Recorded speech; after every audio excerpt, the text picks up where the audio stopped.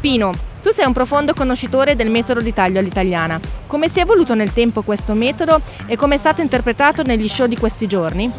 Sì, da, diciamo che si adatta, si adatta perfettamente a tutto da, con l'evoluzione. L'evoluzione è continua, la facciamo in continuazione sempre aggiornamenti al metodo di taglio, che comunque è un metodo contemporaneo, non ha età, non ha un tempo, dunque la sua identità è ben chiara e ci permette di realizzare col tempo qualsiasi trasformazione e evoluzione per rimanere sempre al passo con la moda.